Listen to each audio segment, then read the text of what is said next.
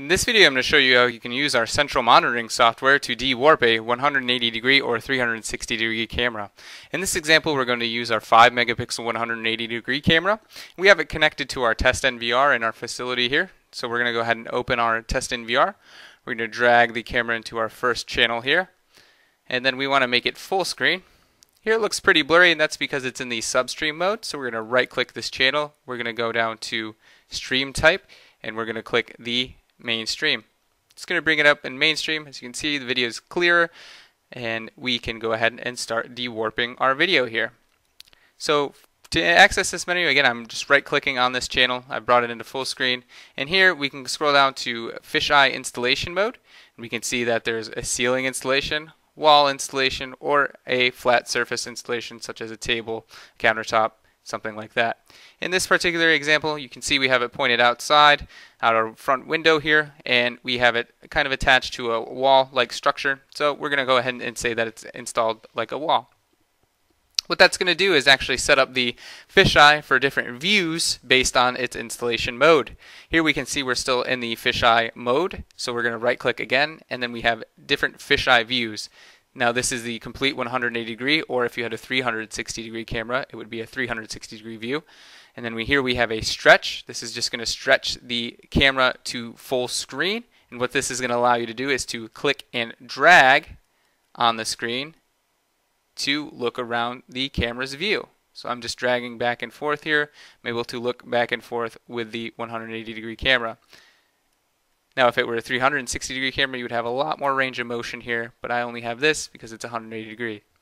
So I'm going to right click again, go down to fisheye mode view again and here we're going to see that it's going to stretch on the left hand side and when we have three squares. So we're going to click this and here we can see it brings up this screen on the left which is our full screen view and then it has a bunch of different views here and they are color coded. As you can see this one's blue, this rectangle is blue down here. We scroll back over here, we highlight over the yellow portion, it's going to highlight the yellow portion of video, and then if we scroll over the green, it's going to highlight the green portion. Red is just the whole view. So here on the blue, we can move this around any which way we want to, and it's going to give us that view. Yellow, we can do the same. This is totally customizable. I can move these to any way I want.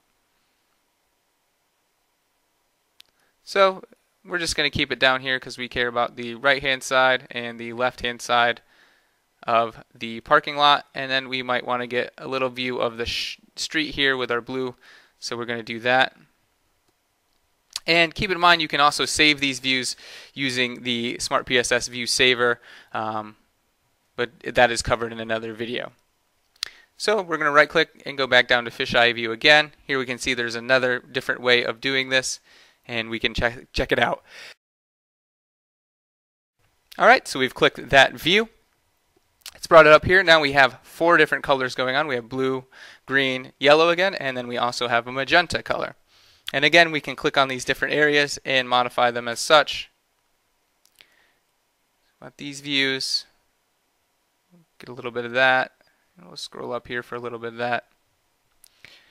Alright, so now we've saved that we've gone ahead and created our view here. It's just another way of orienting the fisheye camera lens. And then we'll go down here to fisheye view to the final one. Now this one is going to have the full frame in the middle and then all of the squares around it are going to be adjustable. So it's going to give us about eight different ways to customize this camera. So here we have green, blue, yellow, light blue, light green, orange, red, and finally magenta and we can adjust each individual one of these views. Now notice there is a boundary that it will give you, so you can't go too far beyond that boundary to left, but in the camera view itself, it's still giving you that angle. And then we have the magenta, the dark red, orange, light green, light blue, yellow, and blue. So hopefully this video helps you utilize your 180 degree or 360 degree camera in live view. Now keep in mind you can also go into playback and dewarp the 180 degree or 360 degree cameras. So in order to get to the playback screen we're going to click the plus button at the top of the software. It's going to bring us to the main menu. Here in the second section here we can see search and under search we have playback. It's going to take us to the playback screen. Here we can see we have our test NVR again so we're going to go ahead and hit the arrow key to bring this up and we have our IP camera. We're going to just click that and then we have our date and time set for today where we've recorded the video. I'm going to click the search button here we have our, our four camera grid view and we see down here in our timeline we do have some continuous recording today for this camera. So we're going to click on that. It's going to bring it up on the screen here and then to bring this to full screen we can double click it. It's automatically brought it up in the mainstream but you can of course go down here and search for substream if you want to use the substream or if you don't have the mainstream recorded for that period of time.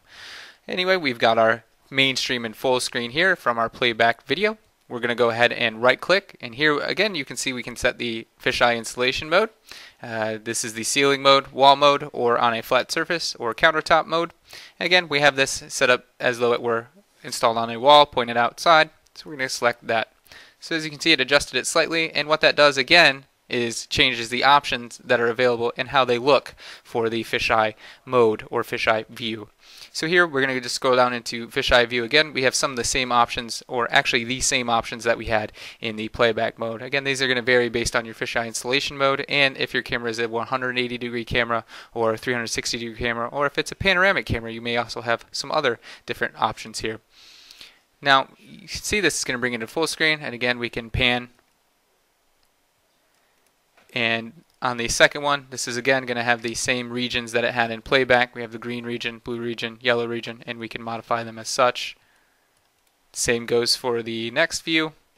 We have the four regions. It added the magenta region on the bottom right, and we can adjust that one and adjust the others as well.